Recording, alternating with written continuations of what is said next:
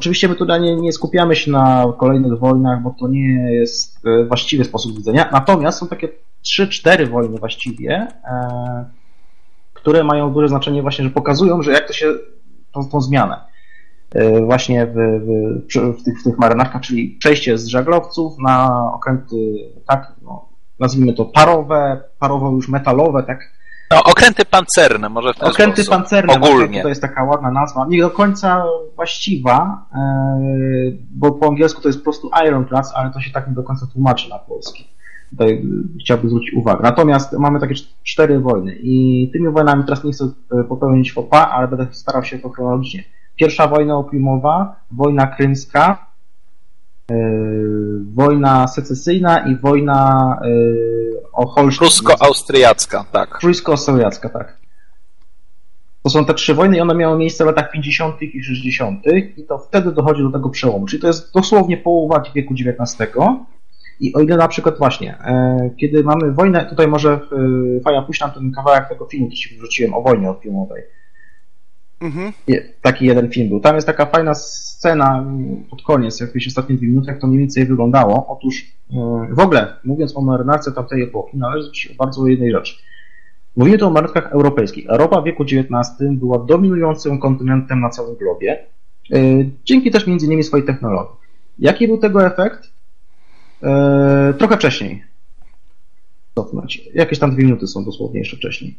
Mhm. I ogólnie rzecz biorąc, e, powstało taka tak zwana doktryna kanonierek. Otóż, mm, mając swoją przewagę technologiczną, ale przede wszystkim możliwość dotarcia dzięki swoim okrętom w każde niemal miejsce na, e, na kuli ziemskiej, gdzie była woda, e, państwa europejskie mogły zmuszać lokalne, że tak powiem, władze, lokalne państwa, narody do posłuszeństwa poprzez to, że po prostu podpłyniemy na zasięg naszych dział i zaczniemy po prostu ostrzeliwać wasze porty, miasta, mieszkańców, nie wiem, co, co, co po prostu się udało Co się nawinie? Co, tak, się, co nawinie? się nawinie, to oberwie. Jeśli nas nie posłuchacie. Jeśli nas posłuchacie, czyli nie staniecie się od nas zależni, no to wtedy będzie wszystko ok, nie będziemy was e, niszczyć. Ta dyplomacja paradoksalnie za, zapoczątkowana została przez Brytyjczyków w wojnach napoleońskich, kiedy to zbombardowali Kopenhagę, bo Duńczycy byli nieposłuszni w kwestii sojuszu. Natomiast to się bardzo szybko przeszło na stronę właśnie bombardowania jakichś właśnie narodów pozaeuropejskich. E, I świetnym przykładem tego jest właśnie wojna opiumowa, gdzie potężne, przecież gigantyczne państwo chińskie, które nie było, którego ani Wielka Brytania, ani nawet cała Europa nie byłoby w stanie razem podbić, po prostu w czasie tej wojny podpływało e, swoimi okrętami liniowymi jeszcze mimo wszystko i bombardowało z właśnie forty miasta chińskie w ten sposób, że Chińczycy o ile posiadali oczywiście też działa i broń palną, to ich działa były starsze i miały mniejszy zasięg i mniejszą celność. Więc tutaj właśnie jest scena, gdzie jest to jest właśnie jedna scena tego filmu historycznego, gdzie to jest naj, najpotężniejszy fort y, nad morzem w całych Chinach, tak? Potężna, tak? Tutaj było, było no, tutaj... w umocnieniach y, chińskich i praktycznie Brytyjczycy bezkarnie zbombardowali go, następnie go zajęli, to co z niego zostało. Po prostu tak. Brytyjczycy byli bezbronni. To znaczy tutaj też e, dużą różnicą właśnie, e, dużą różnicę zapewniała technologia, ponieważ e, brytyjskie działa nie dość, że były celniejsze, nie dość, że miały większy zasięg, to jeszcze to już był okres właśnie używania granatów, jak to się określa, czyli, poci- tak. czyli właśnie pocisków wypełnionych materiałem wybuchowym. Stąd skuteczność brytyjskiego ostrzału była po prostu nieporównywalna z tym, co tam Chińczycy mogli ewentualnie spróbować. Z kolei mamy potem, zaraz, mamy też wojnę pierwszą krymską tak. gdzie mamy już do czynienia między, początkowo między flotami no, nowoczesnymi, to mniej więcej nowoczesnymi, gdzie e, po pierwsze mamy uderzenie floty rosyjskiej na flotę turecką na Morzu Czarnym na początku i między innymi właśnie użycie pierwszych, jednych z pierwszych właśnie okrętów opancerzonych e, w bitwie, gdzie one praktycznie bezkarnie szatkowały okręty tureckie i forty. Natomiast potem mamy wejście do wojny po stronie tureckiej przecież e, tak, właśnie tutaj dowódca popełnił samobójstwo ze względu na, na to, że zhańbił się porażką. Właśnie tutaj te, te walki między flotami brytyjską, francuską, potem jeszcze, no, może nie hiszpańską, ale flotą Piemontu i przeciwko flocie rosyjskiej, Y, wykazały co? Przede wszystkim to, że e, bardzo ważne staje się w tym momencie nie tylko posiadanie silnej floty w działach, ale przede wszystkim e, silnej floty, jeśli chodzi o technologię dział. bo tutaj Rosjanie w wieku XIX troszkę zaspali, jeśli chodzi o tą kwestię. E, druga rzecz to stworzenie przede wszystkim e, tutaj baz operacyjnych na morzach. I tutaj, o ile wcześniej bazy tego typu były przede wszystkim ważne ze względu na żywność, tak? Żywność, wymianę lin, wymianę żagli, to w wieku XIX, w połowie XIX coraz większe znaczenie miało posiadanie baz z miejscami, gdzie można składować węgiel, e, czyli ten surowiec. Co to oznaczało? E, teoretycznie w czasie tej wojny to niewiele oznaczało, ale w praktyce Y, jeśli przyjmiemy, że wojna, która nazywa się krymską, bo tam była główna, y, większość działań tam się działo, no to jeśli chodzi o marynarkę brytyjską, no to ta marynarka działa na Morzu Czarnym, czyli przy Krymie, na Bałtyku oraz atakowało porty, y, porty na Morzu Północnym nawet, a nawet atakowało Władywostok, czyli zasadniczo drugi krajec świata. I co to, to było możliwe tylko dzięki temu, że Brytyjczycy zadbali o to, by by posiadać w odpowiednich miejscach na świecie rozlokowane punkty, gdzie mogą, gdzie ich okręty mogą wypocząć, gdzie załogi mogą wypocząć, gdzie można dokonać napraw, gdzie można pobrać surowce, żywność itd. Tak itd. Tak no tak. Dlaczego mówię o tym? Ponieważ to spowodowało ostatecznie, że Brytyjczycy, mając jeszcze przy okazji, będąc tą pierwszą potęgą morską świata w wieku XIX, zaczęli bardzo intensywnie rozwijać swoje imperium kolonialne, nie zajmując największe jak możliwie tereny, kawały dosłownie takie wyrywając terytoria, tylko jakąś jedną wysepkę tutaj, jakiś jeden port tutaj i w ten sposób podstworzyli taką siatkę zasadniczo w przeciągu wieku XIX, że właściwie flota brytyjska była zawsze bezpieczna, była zawsze miała blisko do siebie. No, tutaj dodajmy, że, że w ich ślady ruszyli też Francuzi i w ogóle zaczęło się, zaczęło się takie połączenie właśnie, że po co mamy flotę? Po to, żeby zapewnić dostęp do naszych kolonii. A po co mamy kolonie? Także po to, żeby flota miała gdzie bezpiecznie przebywać.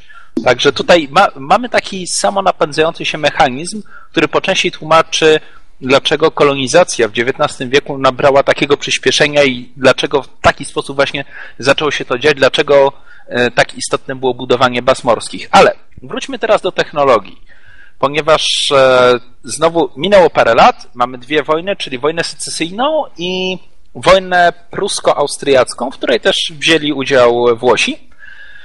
Tak, dzielna włoska armia, a właściwie dzielna włoska flota i wspominam o tych wydarzeniach, ponieważ tam zdarzyły się dwa takie momenty, które dały sporo do myślenia i bardzo wpłynęły na budownictwo okrętowe w przeciągu kolejnych dekad. Po pierwsze, w czasie wojny secesyjnej miało miejsce pierwsze w historii starcie okrętów opancerzonych.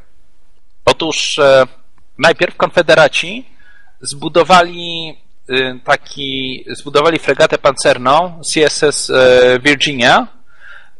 Generalnie powiem tak, to było mało skomplikowane. Wzięli uszkodzony kadłub normalnej fregaty, wykończyli go, e, obłożyli, obłożyli z tego co pamiętam szynami kolejowymi, plus dodatkowy, paroma dodatkowymi kawałkami pancerza, wyposażyli w maszynę parową, E, wyposażyli ogółem w 10 e, dział. Także to była jednostka strasznie powolna, mało zwrotna, nie nadająca się do wychodzenia na, e, na otwarty ocean i stosunkowo słabo uzbrojona. Ale Natomiast, tego się nie dało ugryźć po prostu. Tak, tylko właśnie na tym polegał myk, że kiedy Virginia po raz pierwszy zaatakowała yy, Ameryka eskadrę Unii, która blokowała jeden z portów południa, okazało się, że ten okręt po prostu spokojnie sobie pełznie, człapie, zdradzając swoją, yy, swoją obecność po prostu z dala kłębami dymu. Tylko co z tego, kiedy wszystkie pociski się od niego odbijają, a on z tych swoich niewielu dział spokojnie rozwala. Jeden okręt podpala i niszczy, potem rozwala drugi. Okazało się nagle, że sytuacja bardzo się zmieniła. Zwłaszcza, że no, okej, okay, Unia mogła być bezpieczna, mogła kontrolować ocean, ale blokada portu to jest inna sprawa. A więc e, Unia z kolei wprowadziła USS Monitor. To był okręt zbudowany na podobnej zasadzie, czyli obłożony pancerzem, bez jakiegokolwiek ożaglowania. Różnica była taka, że na środku miał taką obrotową wieżę, w której znajdowały się dwa działa dużego kalibru. I okręty te po raz pierwszy się e, starły w czasie tak zwanej bitwy pod Hampton Roads. I co się stało, słuchajcie? No więc było dużo, dum, dużo, dużo dymu, dużo huku, dużo strzelania z odległości kilku metrów. Nic. Nic. Na obu okrętach w sumie było parę osób ranionych od, od prysków pancerza. od e, nitów wbitych w łąk kadłuba i tak dalej, ale okazało się, że po prostu pociski odbijały się jak piłki e, ping-pongowe od pancerza. Okręty nie były w stanie się poważnie uszkodzić ani zagrozić. E, co oznaczało między innymi, że, że następnym krokiem, który trzeba poprawić jest artyleria, bo działa, w które wyposażone są te okręty, są świetne do niszczenia jednostek nieopancerzonych, ale w momencie, kiedy przeciwnik ma coś pancernego, jest źle. Natomiast druga rzecz, to 1866 rok i bitwa pod Lissą, w czasie której starły się floty włoskie pod e, dowódcem admirała Conte di Pesano oraz e, flota austriacka pod dowódcem wiceadmirała Tegethofa. Tegethoff miał starsze okręty, Y, poza tym większość jego jednostek była nieopancerzona, natomiast Włosi mieli kilka super wynalazków, mieli parę okrętów pancernych, w tym m.in. monitor Affondatore, który był wyposażony w dwa działa wielkiego kalibru i w ogóle wyglądało na to, że Włosi przypłyną, rozsmarują Austriaków i będzie fajnie i wrócą do domu po prostu cali zadowoleni. Tak się nie stało. Dlaczego? Po pierwsze, okazało się, że znowu kiedy strzelamy do okrętów nieopancerzonych, jest super. Pociski wchodzą jak w masło, robią spustoszenie, ale bezpośredni ostrzał okrętów opancerzonych doprowadził w sumie po obu stronach do śmierci kilku marynarzy i ran kilkunastu kolejnych. Znowu, pociski się odbijały, po prostu. Okazało się, że te okręty nie są w stanie się ugryźć, z jednym wyjątkiem. W czasie bitwy, w ogólnym zamieszaniu, zresztą wiecie, wyobraźcie to sobie, okręty parowe, które gwałtownie manewrują na tyle, na ile pozwalają ich możliwości. Całe pole bitwy jest zasnute kłębami dymu i z kominów, i z e, płonących jednostek, i przede wszystkim dymu prochowego po wystrzałach dział. I w pewnym momencie e, w pewnym momencie włoski okręt, e, włoski okręt, który, na którym najważniejszy włoski okręt, okręt flagowy Re d'Italia, nagle wyłania się z dymu a na, na niego idzie, e, e, idzie austriacki okręt e, pod dowództwem Tegethofa. Doszło do taranowania. Taran na pokładzie okrętu Tegethofa wybił potężną dziurę w podwodnej części kadłuba Re d'Italia i w rezultacie okręt włoski został zatopiony. Teraz, jakie były wnioski, jakie były rezultaty? No, poza tym, że admirał Di Pesano zakończył swoją karierę, a Tegethoff stał się austriackim bohaterem narodowym. Otóż, po pierwsze stwierdzono, że E, współczesne działa są praktycznie kompletnie nieskuteczne w walce z okrętami opancerzonymi. Po drugie, było oczywiste, że epoka okrętów nieopancerzonych to przeszłość. Po trzecie, no właśnie, to taranowanie dało asumpt y, do myślenia, że kurczę, słuchajcie, a może by tak ten taran, może by, wiecie, to taka niby stara taktyka, jeszcze z czasów greckich, salaminy i tak dalej, ale cholera wiem, może to jest przyszłość. I efekt był taki, że w niektórych skrajnych przypadkach, aż do początków XX wieku, okręty pancerne, mimo całego postępu po drodze, na wszelki wypadek wyposażano w taran. Bo a nuż będzie okazja, żeby staranować, chociaż tak naprawdę nigdy potem już do bitwy, w której doszłoby do taranowania i zatopienia okrętów wskutek taranowania, nie doszło. Natomiast w tym czasie też zaczęto właśnie eksperymentować z lepszymi działami, Zaczęto też eksperymentować z konstrukcją okrętów, stąd powstał, jako zresztą odpowiedź na La Gloire, brytyjski okręt e, pancerny HMS Warrior, e, który był pierwszym okrętem, którego konstrukcja była żelazna. Chodzi o to, że La Gloire to była po prostu jednostka drewniana, obłożona płytami pancernymi. Podobny charakter miała zresztą Virginia, podobny charakter miał Monitor. Natomiast Warrior był od początku zbudowany z żelaza. Miał również dużo mniej dział, no bo wiadomo, na czymś trzeba oszczędzać ten e, ciężar, więc uznano, że więcej dział i tak w sumie się do niczego nie przyda, nie ma zastosowania, za to zaczęto troszeczkę zwiększać ich kaliber. O właśnie, to jest HMS Warrior. I nawiasem mówiąc, była jedna śmieszna rzecz też, jeśli chodzi o Warriora.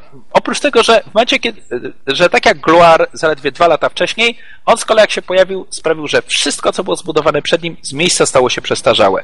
Druga rzecz, zmienił również myślenie o E, pewnych kwestiach, jeśli chodzi o to, kto jest ważny we flocie. Widzicie, e, w Royal Navy obowiązywała zasada, że e, żołd dla marynarzy był, był uzależniony od tego, na jakim okręcie służą. Im większy okręt, im większa załoga, tym większy żołd. Dlatego okręty liniowe, te stare pierwszej kategorii, miały dużo lepsze, załogi na nich miały dużo lepsze zarobki niż załoga Warriora. I Warrior, jego załoga w pewnym momencie się zbuntowała, no nie wprost, ale po prostu powiedzieli do admiracji, słuchajcie, jak to jest? no jesteśmy najnowocześniejszym okrętem we flocie, nie?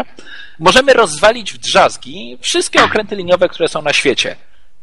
I dajecie nam mniej niż tym kolesiom? Trzeba to zmienić. I od tamtej pory zaczęło się myśleć, że zaraz, zaraz, może faktycznie wielkość załogi to nie jest to, co się liczy. Że może liczy się jakość tego okrętu.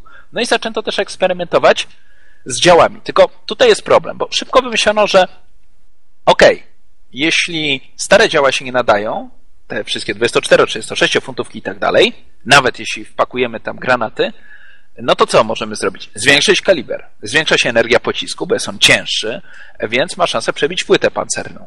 No dobrze, fajnie, super. Tylko, że problem polega na tym, że z kolei wówczas nie możemy użyć tak wielu tych dział. No, 100 dział wielkiego kalibru, to po prostu ten okręt zatonie pod e, ich ciężarem. Dlatego zaczęto ograniczać ilość dział, ale jednocześnie zaczęto zwiększać ich kaliber. I w ciągu kolejnych 10 lat wymyślono, e, po pierwsze, ilość dział zaczęła naprawdę spadać do poziomu kilkunastu, góra kilkudziesięciu na okręt. W skrajnych przypadkach, jak włoski Affondatore, zresztą zbudowany w Wielkiej Brytanii, ten okręt miał zaledwie cztery działa. Dwa działa kalibru 228 mm i dwie 80 mm. E, oprócz tego zaczęto jeszcze się zastanawiać, dobra, no wcześniej, tak jak na przykład tutaj w przypadku Warriora, te działa były, jak widać, rozmieszczone na burtach. Czyli okręt od dziobu, od rufy był praktycznie bezbronny, a przecież to już jest epoka maszyny parowej, kiedy można manewrować i kiedy wiatr nie jest tak istotny, więc łatwiej też yy, popłynąć tak, żeby przeciwnika zaatakować na przykład od dziobu. Co z tym zrobić? No więc wymyślono, e, wymyślił to komand, brytyjski komandor Coles, że właściwie jakby tak, e, jakby tak wziąć kilka dział, tylko kilka dział i umieścić je w obrotowej wieży, która znajduje się na pokładzie. No przecież w tym momencie będziemy mieć ostrzał na wszystkie strony, e, nie potrzebujemy dział na burcie i właściwie byłoby to fajne rozwiązanie. W dodatku taką wieżę można było pancerzyć. To oznacza, że nasze działa byłyby w stanie strzelać, nawet gdyby doszło do przebicia pancerza gdzieś ogólnie. No i tak z kolei zaczęły się powoli, powoli um, ko, y, pierwsze próby z konstruowaniem okrętów, które były po pierwsze w całości zbudowane już z żelaza, nie z drewna. Po drugie zaczęły gwałtownie tracić e, maszty i ożaglowanie. Jeśli nawet jeszcze miały, to one miały już coraz bardziej charakter tylko pomocniczy. Po trzecie, zaczęło się e, wprowadzanie jednostek, które miały obrotowe wieże i mniejszą ilość dział. No i oprócz tego często jeszcze miały taran. E, poza tym też powoli, powoli, strasznie zaczął wzrastać zasięg tych okrętów i zaczęła wzrastać ich szybkość. To jeszcze nie były okręty takie naprawdę nadające się na pokonanie oceanu, ale to już były jednostki, którymi można było się nawet wypuścić na otwarte morze.